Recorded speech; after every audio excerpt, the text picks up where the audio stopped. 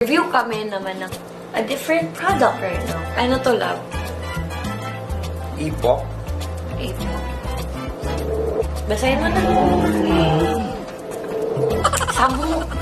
May aning mud mask. Then, First time ko magagamit. Uh-huh. Uh, rich in min- minerals, the mud is found in a remote glacial estuary in the Pacific Northwest and then combined with a natural conditioning sea bo- Botanicals. botanicals. The result is a mud. So fine, smooth, and highly absorbent that it gently but effectively removes dead cells and impurities, leaving skin softer and smoother. Kung maging aquamarine pala tayo lang, yung buong mukha. Mukha ka ng fish talaga. Start tayo ulit. Kinabahan.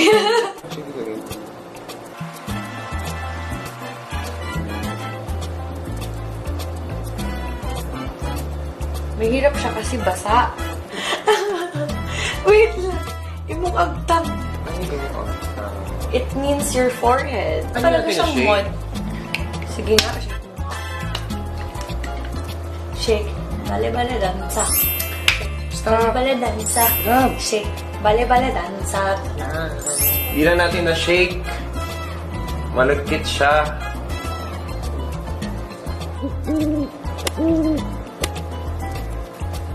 Bakit ganyan sa'yo? Good dry na yung akin. Ah, and ganyan na itsura pag dry, no? Pero hindi ko mabalance. Weird. Mud siya, di ba?